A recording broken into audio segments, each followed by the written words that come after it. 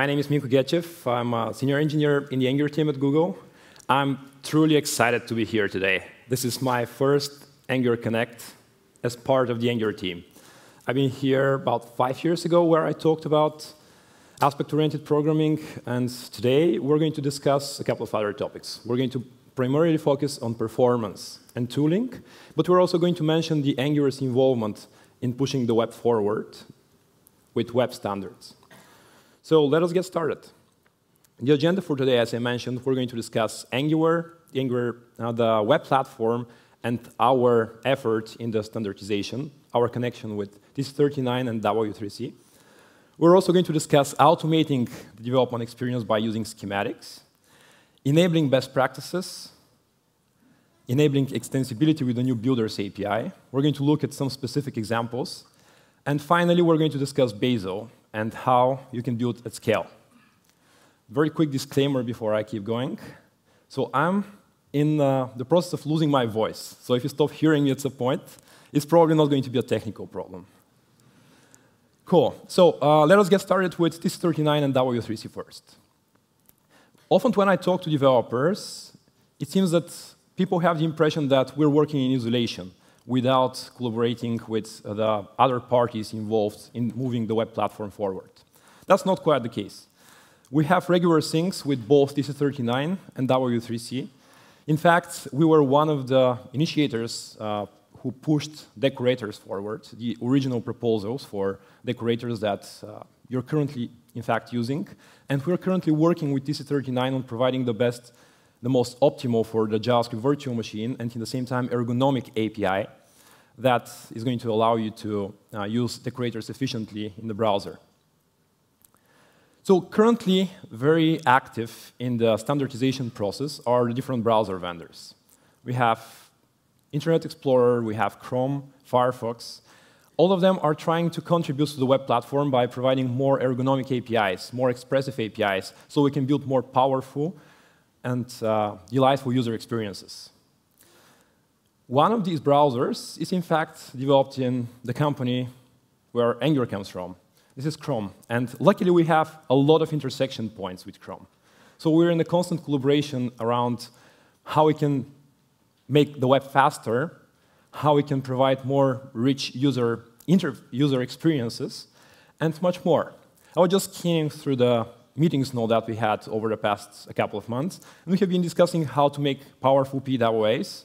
We discussed web performance, web standards, testing, and much more. In fact, one of the recent uh, deliverables that uh, we worked on together is web.dev slash Angular. In this set of posts, we are trying to help you to provide you uh, guidelines on how to build performance and progressive Angular web applications. This collection of posts contains information about how to build performant web applications in terms of improving the time to interactive, as well as the speed of the Angular change detection, respectively runtime performance. We're discussing how to build more reliable applications by using pre-caching with the Angular Service Worker, how to make the applications installable and accessible. All the posts are in the same format. You have a bunch of content, uh, interactive examples in StackBlitz, and some diagrams to help you get started faster. If you're particularly interested in performance, I would definitely recommend you to visit the performance optimizations in Angular by Mert today. And if you're interested in the internals of Angular and the work that we have been doing there, definitely visit Kara's talk on how Angular works. Right, now let's talk about tooling. We have been working on making schematics the default standard for transformating and uh, transformating the files in your workspace and bootstrapping your projects. In fact, schematics can help us build more performant applications as well by automating your development experience by helping you to, to follow best practices easier. Addy Osmani is publishing a regular survey on the cost of JavaScript. He did it for 2019 as well, and well, still the most expensive asset that we are shipping over the wire is JavaScript. So definitely we would want to reduce the number of bytes that we're shipping during the initial application load time in order to speed up time to interactive. Probably the most efficient way to do that is by using route level code splitting. I bet most of you are familiar with this concept. You can use just load children in the Angular route declaration, and from there, you can just load a particular route that is not going to be used immediately lazily. However, this involves creating, uh, this involves a lot of manual steps. We'll first have to define an ng module. We have to declare a lazy route. We have to declare a route in the ng module that is being handled by a component. And if we're following the Angular style guide, on top of that, we also have to deliver a routing module. That's a lot of steps that could be automated by using schematics. So in Angular CLI version 8.1, we introduced a command that is going to allow you to generate a lazy route with just a couple of characters. Basically, you can specify your module name, you can, you can specify the path that you want this module to handle, and your parent module. Let me show you how this works. So here we have an Angular application with a couple of routes. When we navigate to the about route, we can see that we have zero network activity. So there is absolutely nothing being lazily loaded in this particular case. If we want to move this route to a lazy route, what we can do is just go to the console, type ng-generate module, the name of the module, the name of the route that it is going to handle, and the name of the parent module.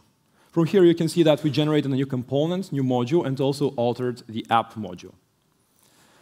Here is the lazy route that we introduced. Just a traditional standard lazy route, and now we can get rid of the eager route because it is no longer necessary for us to use. Finally, in order to move the functionality out of our eagerly loaded about component, we can just copy and paste this content to the lazily uh, loaded one, and everything from there on should work automatically. Now, when we go back to Chrome, and uh, we navigate to the About page, we can notice that the browser has sent an additional HTTP request over the network to download the About module, and from there, bootstrap the About page. All right, so this is just one of the examples of how we can automate the user experience by using schematics. We have been already applying schematics for ng apps, ng updates to automate your migrations, and uh, many others, including bootstrapping your workspace. But schematics can also help us to build more intelligent tooling. Schematics with combination with some constraints that we're setting on top of the application structure, so we can extract some metadata about it by statically analyzing it. Now, in order to look at the next example, let us first try to use the application with the lazy route that we just introduced over a very slow network. Now, if we have a very heavy network latency and we navigate to the About page, you can notice that, well, the user may have to wait quite some time until they actually see the result. And we're putting so much effort in order to deliver desktop-like experiences in the web by introducing all this complexity of state management, progressively loading the application, and at the same time, we deliver pretty poor UX, right? In order to handle this issue, we can use preloading. So while the user was in the home page, we can just load in the background the, amount, the about module so that when the user performs the navigation, it could be instant. There are different ways to do that. We can preload only the modules associated with visible links. This is the so-called quick link strategy. We can preload only the modules that are associated with links that we have hovered over. Or we can apply probably the most advanced strategy out there, predictive prefetching, where we're going to fetch only the modules that are likely to be needed next based on statistic report how users are actually interacting with our application. So this here, the tool that I'm going to talk about, it is more of a community-driven tool. This is something that uh, in spare time we have been collaborating with uh, Chrome, so it is not an official Angular project, but it provides a really good example of how by combining different Google services, we can provide more delightful user experience. This is the tool called GuessJS, and let us just introduce to our tiny example. First, we're going to use ngx build plus. This is another extension built by community, which allows you to plug into the Webpack configuration of your application without ejecting. After that, we can just edit the extra Webpack configuration that we want to alter our build with and introduce the Guess plugin there. All we need to specify is a Google Analytics ID, a period for which we would want to extract a report for, and a route provider. This is something that we're going to specifically discuss in a little bit. Now, we can quit Vim and build our application by specifying the extra Webpack configuration. And this is going to trigger the build process that we're all familiar with. Specifically here, we're going to compile TypeScript. Uh, we're going to concatenate a couple of our files and run the Guess plugin that is going to require access to our Google Analytics report. Once uh, we provide read access to Guess.js, it is going to build our application and introduce preloading or prefetching instructions inside of the individual bundles. We have been collaborating with the Google Chrome team, specifically with Addy Osmani from there, and with the TensorFlow team in order to make sure that the model provides the most, the biggest accuracy possible. So next, we can just serve the application and open it in our favorite browser. And uh, just uh, to verify that the prefetching is happening in the right order, we can look at the network tab and see that the about module and the nyan module have been prefetched uh, in the order specified in Guess.js, depending on the likelihood for them to be used. So how Guess.js works? It is just going to use a report from your Google Analytics uh, it is going to use a report from Google Analytics. After that, it is going to statically analyze your routing structure. This is only possible because of the constraints that we have set on how you can declare your routes in order to make them statically analyzable. These constraints sometimes help us provide better tooling for you. For example, types set another type of constraints that could be quite useful. After that, we built a machine learning model which could be either a Markov chain or a recurrent neural network and prefetch the routes in the right order when they're needed. Regarding constraints, I would definitely encourage you to look at Rado's talk on power of constraints. He's going to talk there more about why we choose to use static HTML templates, what benefits other constraints such as uh, type systems can give us, and much more. Well, talking about constraints, another constraint that we can set is performance budgets. So we can restrict uh, the, uh, we can, so we, we optimized our application, right? We use, introduced lazy loading. Right after that, we introduced prefetching, and our application is fast at given point in time. However, we don't have the guarantees that our application is going to be fast in a week, week from now or in a month. And big percentage of applications performance regresses over time. So budgets are a great way for us to improve this metric by monitoring our performance in a CI. So with budgets, we can set given threshold for how uh, big our bundles are allowed to be. And if our build process, on some reason, exceeds this threshold, we can just fail our build immediately and investigate where the failure came from. I'm happy to share that in Angular CLI 8.2, we introduced style budgets for components. We noticed that a very frequent pattern is for people to import font awesome, let's say, in a couple of their components, which was increasing their bundle size dramatically. So in order to help you prevent that, we introduced some default values in our style budget. So if your uh, styles exceed given size, your build is going to automatically file. Now, let us talk about enabling best practices. Regarding enable, enabling best practices, I want to start this part of the presentation by sharing a small personal story about my first contribution to Angular. So in 2013, I was, uh, back then, well, we had AngularJS. Uh, I was using it for building a single-page application, and reading through the documentation, I noticed a very small typo in one of the interceptors examples. So I was really excited on contributing to a big open source project. That was, that was something that I tried before, uh, before, before this moment and wasn't really successful. So anyway, I kept, uh, I forked the Angular repo. I uh, fixed the missing uh, brace. After that, I wasn't sure whether there was actually a missing brace, so I removed the forked repo. I uh, reproduced the example in my, back then it was just Fido, I believe, or uh, my local editor. I finally ended up opening this pull request, and I started refreshing the page constantly in order to see whether someone is actually going to approve it.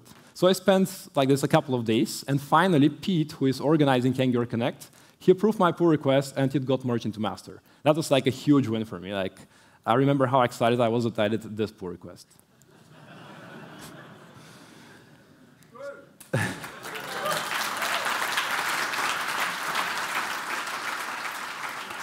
yeah. And uh, of course, that's not my only contribution to Angular now.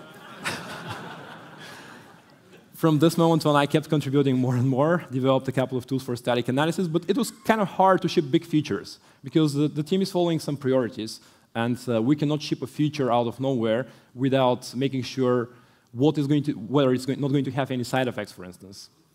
That is why we introduced the collaborators program. With some trusted collaborators, we tried to improve the engagement, like uh, help us, help, help them help us to build new features and guide them through the process. One of the active collaborators who played really important role in version 8 in the CLI is Manfred Steyer. Together with him, we worked on differential loading. So we started with this design document. After a couple of conversations with the Google Chrome team, we discussed what could be the most optimal way to implement this feature. And finally, we ended up with the implementation that can pretty much improve your time to interact with sometimes over 30%, depending on your application. This is one of the defaults that we try to enable. So this is going to, in version 8, we enabled it for all the applications out there. By using schematics, we transformed your project structure, we transformed your workspace files in order to take advantage of differential loading out of the box. Another research for enabling the defaults that we did was around serving. So we looked at HTTP archive, and we noticed that a lot of the Angular applications out there are not using content compression. Over 27% are not using Brotli or gzip.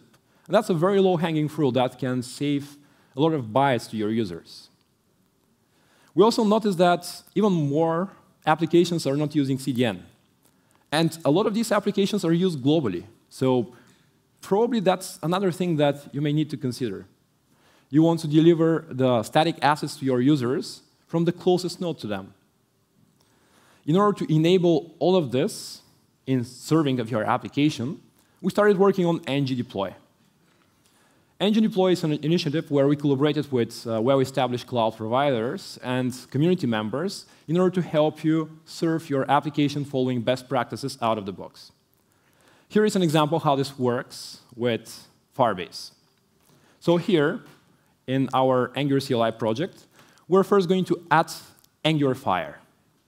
Angular Fire, uh, ng-add is going to trigger installation of Angular Fire, which is going to transform our project in some way. It is going to add some dependencies. And after that, it's going to connect to the Firebase APIs, where we can select a project that we want to deploy our application to.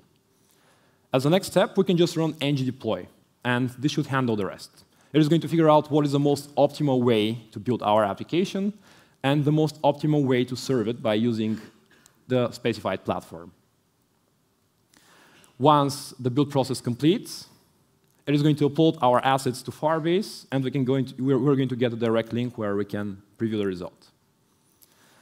All right, so on this feature, we started early collaborating with Google Cloud and Firebase. We worked with Azure on ng-deploy. And uh, now I want to invite Shmuela on the stage to tell you more about our story collaborating on this feature and make you a quick demo. Hello, hi everybody.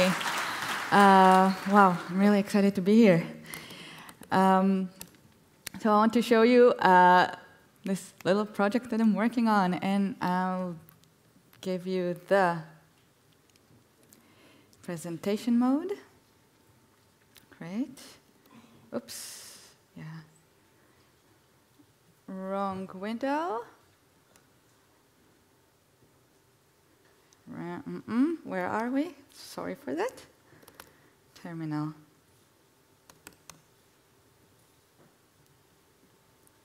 Okay. So, we have here this very nice Angular. Where is it? Sorry. Um, here it is. We're working on this Angular application, and um, we're, uh, we want to host it. Um, it's, uh, uh, we're using static hosting. And like Minko said, uh, we're working on uh, different um, platforms to deploy this Angular application for, and the Angular uh, team has been working on the um, on, on, allowing us to builders uh, uh, to add to the Angular CLI that uh, we can run the commands with and deploy it in, to different platforms. And as I'm working on um, on the Azure platform as a, an, a, a, as a cloud advocate for Azure, um, I decided that this is the way that I'll bring Azure closer to the Angular community.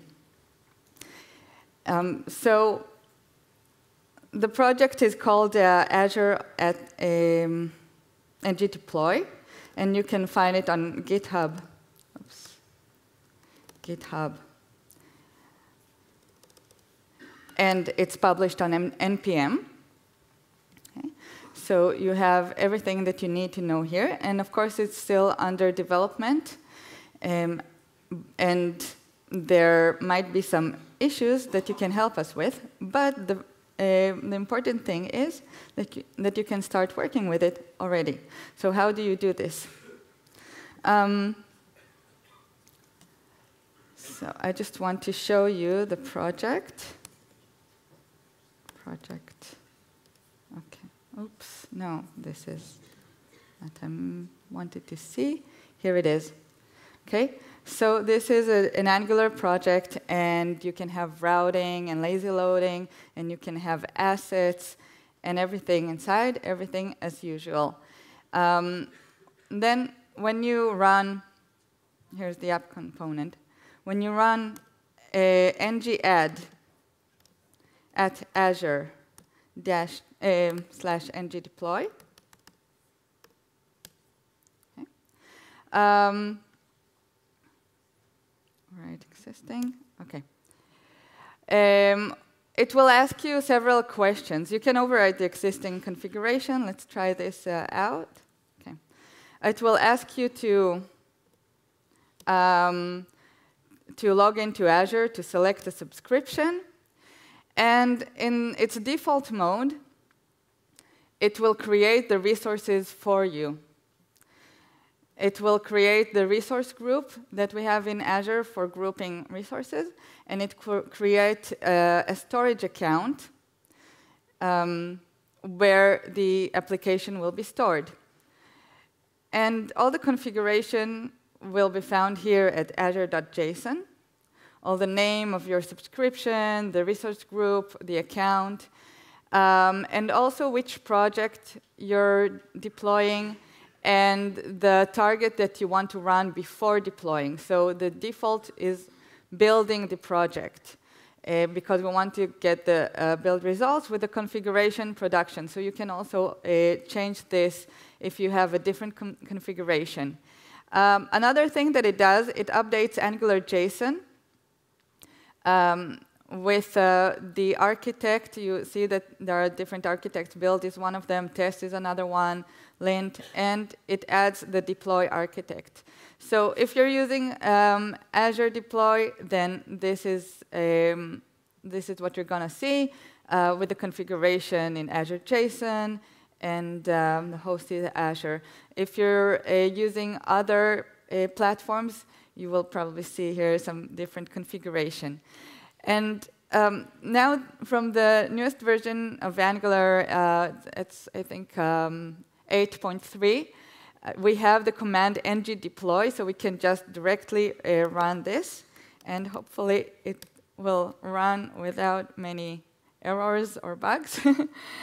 um, so like I said, first it builds it, and we've, uh, we've been thinking um, about how to do this, uh, how to uh, design this whole uh, tool of yeah, and I have the error, of course. um, how to uh, design um, the um, what the tool does, and one of the things is whether whether we're going to build the project always before we run it or not. And uh, we've been talking uh, with uh, Minko and the Angular team, and also, other people who are working on, uh, on different versions of this tool. And, um, oops, and we decided um, that, yes, we're going to have to build the project every time so that you will have always the latest version of it. Um, and of course, there are also other things that we might um, we might use, um, and we're waiting for your feedback on this. Okay, so I'm giving here some old, older configuration that's going to work this time. And so it builds the project, it deploys it, and now it gives you the link. Um, and it's just there on Azure and you can all browse to this, to this link. Uh, the link is uh, composed of the name of the storage account, but of course you can uh, redirect it to your own um, a, a URL. Um, and um, that's it. It's, that's how easy it is. Thank you. Thank you. Yeah.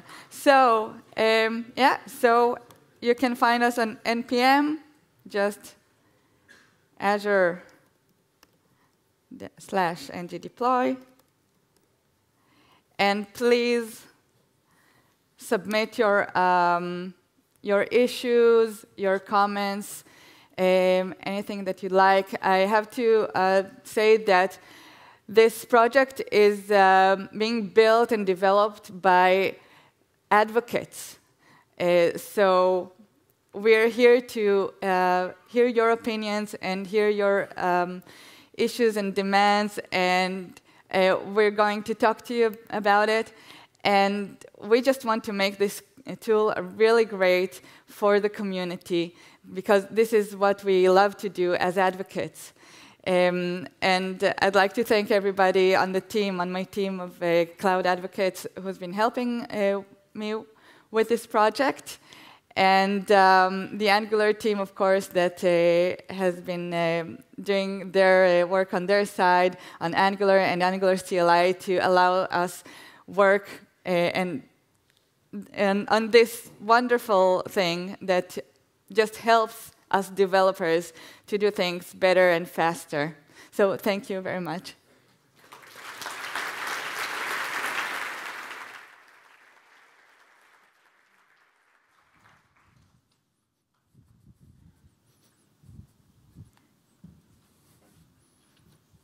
Thank you, Shmuela. All right. uh, thank you very much for the demo. Uh, as uh, Shmuela mentioned, we have been collaborating with a couple of partners from the beginning.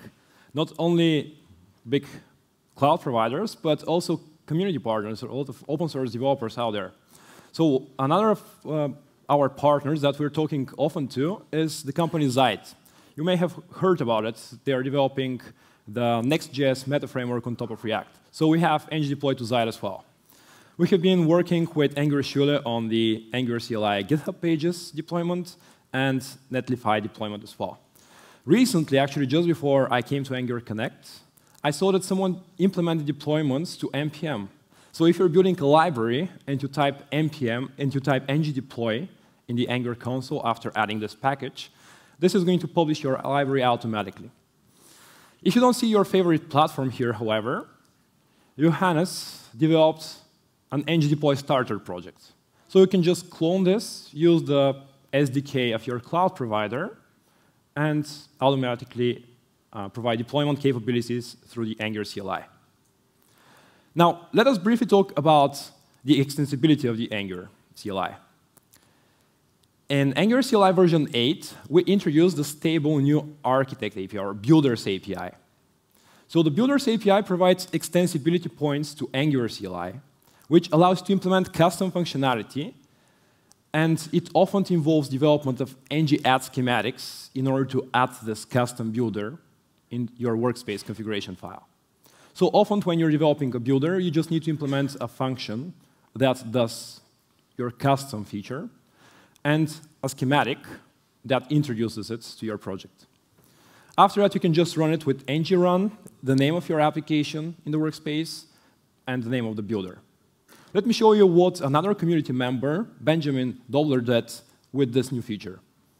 So we just add, uh, we just create a new application first. We call it desktop app. So this is kind of a spoiler with what he did. Once we uh, install all the dependencies, we can just ng-add the rich apps ng-tron. This is going to perform again some transformations on top of our project structure. It is going to install some dependencies. And when we ng-run the desktop apps uh, build Electron, we're going to get a desktop Electron application directly that we can develop by using Angular and Angular CLI. There, are, there, there, was actually a lot of creativity from community. We noticed that uh, a lot of people started experimenting with Jest, with Cypress, even building Node.js applications by using the CLI. In fact, most, actually all of the builder plugins are implemented on top of this architect or uh, builders API that we talked about. If, we, if you want to learn more on how to enable your custom functionality in the Angular CLI, you can take a look at our guide at angular.io guide slash CLI builders. Now, in the end, I want to spend some time talking about building at scale, and specifically Bazel, which could be used in the Angular CLI right now in an opt-in preview with the new Builders API. So most of you probably are already familiar with what Bazel was, but let, us, let me just spend a couple of uh, seconds, a couple of minutes, like talking about it. We have been using it internally at Google for over 10 years now. It has been building our entire monorepo. When someone submits a change list, a list of uh, files to this monorepo, Bazel is going to run the build process not only for the specific, specified changes, but also for all the affected other targets in the build graph. Bazel, in the same time, will be able to execute this build in the most efficient way possible by analyzing the build graph and distributing it among several cores or even cloud instances. In the same time, Bazel does not understand any particular technology. It is being augmented with different plugins. For example, if we want to build an Angular app, Bazel is going to delegate the execution of the compilation process to NGC or NGTSC, depending on whether we're using the current version of the Angular compiler or Ivy. A couple of open source projects that are using Bazel right now are Kubernetes, we have Selenium, also TensorFlow are using Bazel in order to build most of their C++ code base. We have projects from the Angular community as well, NGRX, and in fact, we have been building Angular with Bazel for over a year now. Joey is going to give you more details in his presentation right after this one. So we're pretty fortunate to be in the same company with Bazel as well, and we have uh, established a good partnership. Pretty much every Thursday at 9.30, I'm joining a call with the Bazel team where we're discussing how to enable building your applications at scale. Currently, we have been investigating what would be the best possible way to do that. And uh, there are two main things that we're looking at right now. How to make it efficient for Windows, and how to manage the build configuration of Bazel automatically. So let me share with you what is the current layering, since I mentioned that Bazel is independent from the, tech, from the technology that is actually building. We have Bazel, that is our build, build tool at the bottom. Again, it doesn't understand anything particular about given technology, although it can build C++, JavaScript, C, Objective-C, Kotlin, and so on and so forth, it is not coupled to any particular technology because it delegates the actual compilation to a plugin layer on top of it. These are the so-called rules. We have rules for Angular, we have rules for Node.js, and for TypeScript. On top of that, so now you already, by using only these two layers, you can already build your Angular application by using Bazel. You can use Bazel CLI, and you can configure your build manually by describing the build graph in the so-called build files. In Angular, in, uh, on ngconf 2019, Alex Eagle announced the opt-in preview of the Bazel's integration with the Angular CLI. This is the layer at the top. So by using the architect or the CLI builders API, we're delegating the execution from the CLI directly to Bazel in order to handle your build automatically for you. So the news around Bazel are that uh, it is going to be released, it's version 1.0 this month. The Bazel team is working really hard on making this happen, and uh, it already got wide adoption, but we're hoping that it is going to get even greater adoption once it is announced as stable. Regarding the plugins for Node.js and Angular, we're still actively working on them. A lot of companies have already integrated them as part of, your, of their build process, but there might be some breaking changes eventually. And about the builder API and the integration with the CLI, that's how pretty much it looks like. We have the Angular CLI on top, which uses the builders API that delegates the execution currently to Angular devkit build Angular, or when you add Bazel to your project, to Angular slash Bazel. Both tools, after that, are going to delegate the execution to a particular build tool. For example, to a particular like, compiler or another tool that is going to perform an action to build your application. So this integration is still in Angular Labs. And if you want to learn more about it and about the Angular CLI's integration with Bazel, I'll definitely recommend you to look Alex Eagle talk from ngconf 2019 about the opt-in preview of Bazel. If you want to follow for, follow us for updates around Bazel, I would recommend you to subscribe on bazel.angular.io or request support from one of our trusted partners. Often on events, I'm getting the question, should I learn Bazel? And uh, people are often concerned because it seems that it's very complicated to start using Angular. You need to learn a lot of things, and Bazel is just another one. In fact, you don't need Bazel in order to use Angular, though. Bazel is just a build system that is going to produce, production, produce production executable assets out of your project. So you don't need to learn Bazel, but it might be a good idea for your career development, for your growth as a software engineer. It has it provides you with a lot of great good practices from functional programming implemented as part of your build process, where pretty much you have purity and uh, memoization everywhere in order to make sure that your build process is as fast as possible. So if you learn Bazel, it is going to teach you a bunch of good practices, and in the same time, you're going to create some reusable skills that you can reuse when you switch your job to a C++ developer, let's say. So as a recap, we are very fortunate to be able to participate in the process of moving the web forwards together with the different standardization committees. We're working really hard on automating your development experience with schematics, working on intelligent tooling, which can help us to take advantage of different powerful tools that can help you provide delightful user experiences, and enabling best practices by setting the defaults. Also, if you're interested in Bazel, please follow up on bazel.angular.io. Thank you.